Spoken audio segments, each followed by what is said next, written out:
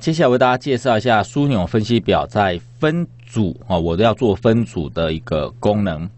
那分组功能主要分为针对数字的分组，针对日期的分组，再来就是文字的分组。我们假假设呃，大概分这三类来做说明。好，那如果我今天要依照数字哈，理论上应该要找一个有年龄的啦，几岁到几岁嘛。好，那这边没有年龄，我们大概以单价来做分组好了。好，先做我们的枢纽分析表，插入索引标签的枢纽分析表，确定。好，那这次呢，我们以它的，我们直接选择产品，啊，产品的单价，OK，我们直接以。单呃，客户购买了什么产呃金额好了哈，金额小计，好小计，什么产品卖多少？那它的单价，我单价放在蓝好了。呃，为了方便呃说明，我把产品放到蓝，单价放到列。OK，好，这是什么产品？那旁边的标签这里就是单价，列标签其实我们可以改成单价。那这个是产品嘛？好，那这边完成之后呢？呃，如果以数量来讲，单价这个部分，我可以把数量哦，这个整个单价，好，滑鼠靠近单价这边会有个向下的黑色箭头选起来，这样就可以把整个所有单价的栏位选起来。我们就可以在枢纽分析表工具具的分析这边去做群组选取项目。好，那因为你选的这一个栏位都是数字。所以他知道你群主的要是数字，他就问你开始点跟结束点。好，假设开始点我们设定为一，好，那结束点我们设定到两百七十好了啊，三百好了。间距值我设定五十，这边可以自己决定，我按确定。一到五十一，五十一到一零一，一零一到一五一，那这边就会呈现出。它筛选出来的一些结果，OK 啊，绝大部分都单价都在一到一五一之间。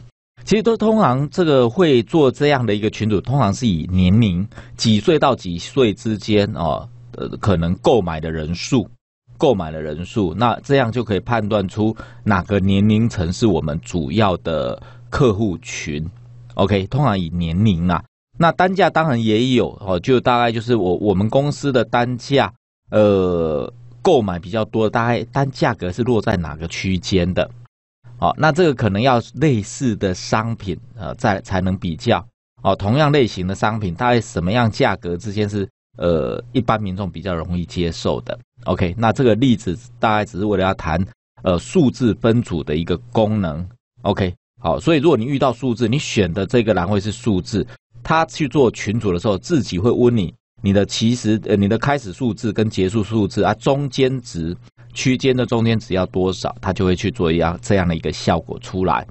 这是属于数字针对数字分组的一个功能。好，那接下来我们来谈谈，我把单价拿掉，移除这个栏位，我现在放入的是订单日期哦，这就是日期喽。那你会发觉，哎，日期它怎么已经有年季？它已经分好了，因为这边刚刚有做过群组哈。好，我在枢纽分析表这边我们重做一次，啊，插入枢纽分析表，好，一样到新的工作表确定。这一次我们用的是订单日期啊，有没有发觉日期它就分好了哈？那这里接下来我们放的是小季，日期它自动产生季跟年。啊，季跟年的一个呈现，所以二零一五年的第几季，我们金额是多少？这边就可以算出各年跟各季它的一个总计效果。那二零一五年第几季？啊，七八九月第四季，这个就可以去呃很快去算出呃日期的分组，啊日期的群组，这是属于日期的群组。好，那如果接下来我们要对文字做分组呢？好，我们一样在呃，其实我拿工作表二来修就好了。我把季跟年拿掉啊，那订单的日期我也拿掉。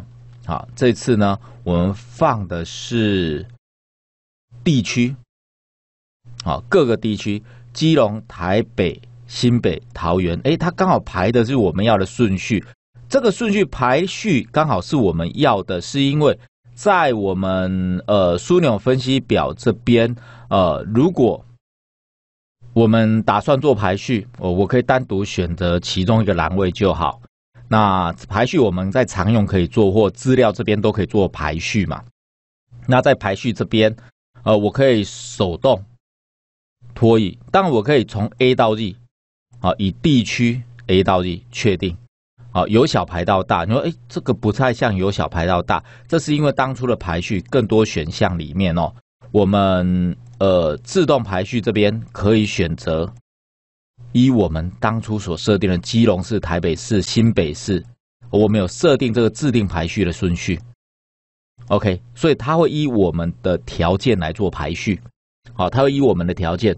哦，这个在前面的排序有稍微说明过，文字文字的排序可以针对我们的地区这边哈。假设这是我的排序的顺序，啊，这把这个顺序呢，档案的选项在进阶这边啊。我们可以对文字做一个制定清单，把这个顺序汇入到清单来。我先把它删除掉，哈。好，当我没有这样的一个顺序的时候，这里呃，我们的这里的分组排序，好，它就没有一个依循了嘛。啊，我由小排到大，由大排到小，这里的排列就会是乱掉的。那乱掉，其实我要做分组也可以，因为我们可以复选嘛。啊，我们可以 Ctrl 按的方向去选不连续的范围，然后去做枢纽分析表的分析的群组。只是这样要选不好选，所以我们可以把这个地区排序这个范围选起来，档案的。好，我们到选项，直接在进阶这边的呃卷轴往下卷，编辑制定清单。可以把刚刚选的这个范围汇入变成清单，确定，确定。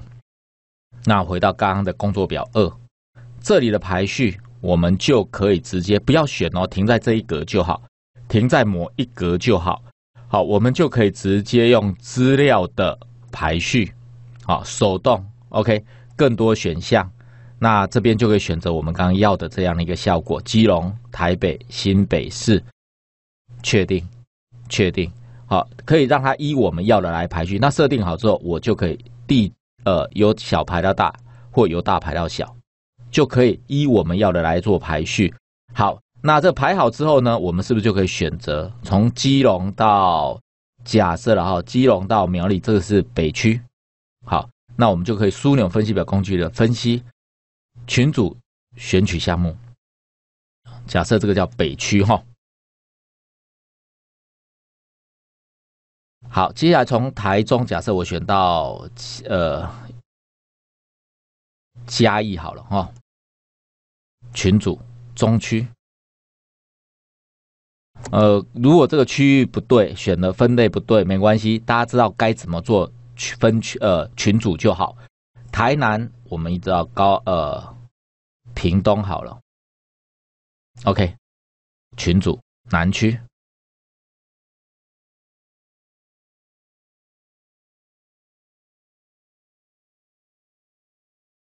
那后面这里我们就称为东区群组，好，这个变成是自己来决定，好，我自己做群组，因为文字的部分电脑不会知道谁是一组的啦，好，文字的部分电脑不会知道，好，那这个当然我们会在枢纽分析表工具的设计这边小记，我们在群组底端显示小记，一般会这样嘛，好，那这样就有这样的一个小记的一个效果出来。那版面配置可以大纲来呈现，这样更清楚一点。各区的小记是不是就可以列出来了？好，那这是属于枢纽分析表分组的功能哦。它对数字的分组、日期的分组，还有文字的分组都有不同的一个做法，好，都有不同的做法。那这个部分大家可以试看看。